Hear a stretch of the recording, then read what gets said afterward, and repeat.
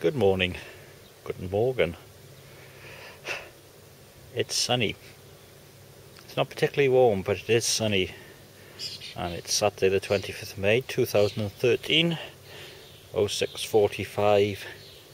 Coffee, haircut, Blackwood. I think that's the plan. Oh yeah, bank holiday weekend as well. Yeah, there's rain forecast for the bank holiday, but not until the afternoon, so may get away with it.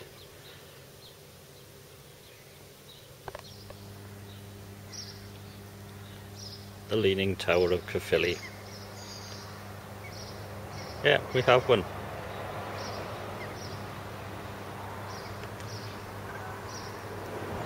And the excessive petroleum spirit prices.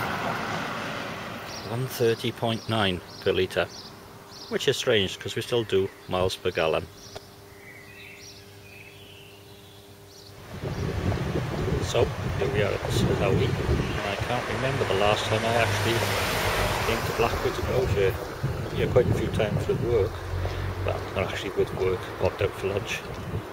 The first thing that springs to mind Pale Ales 2.5 mm, 2.15 that's a better plan.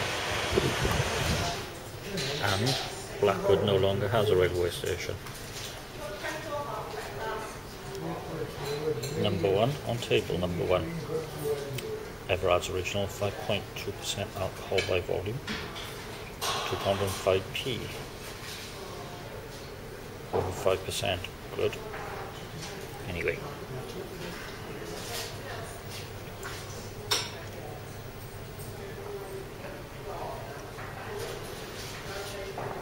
Tastes strong.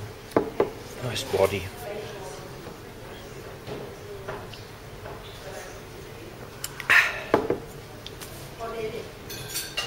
Yeah, tastes very strong.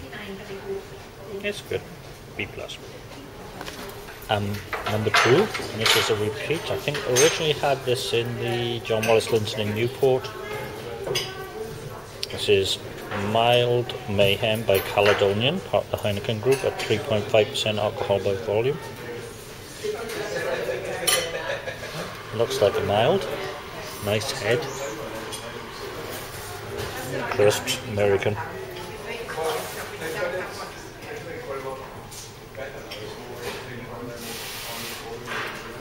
Actually, that's very close to a stout but it has that nice bitter burnt taste following on. I'm not sure, but I think I give it a B plus plus because it is good. Number three and four. This is supposed to be two for a fiver. This is Blackwood, so it's two for four ninety nine. Yes. Yeah. Thank you. Thank you. I'm a hun. That means honey gotta be honest, as honeys go, I don't think they're a very good one. Anyway, American Craft Lager.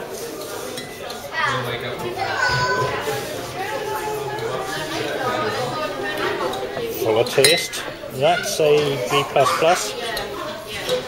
And uh, Beer Superior from Italy, Peroni.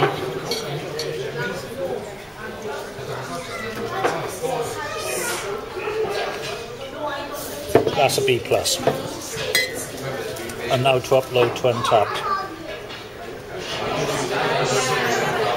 It is a crowded sale, it's a half an hour wait. So this is an emergency bottle of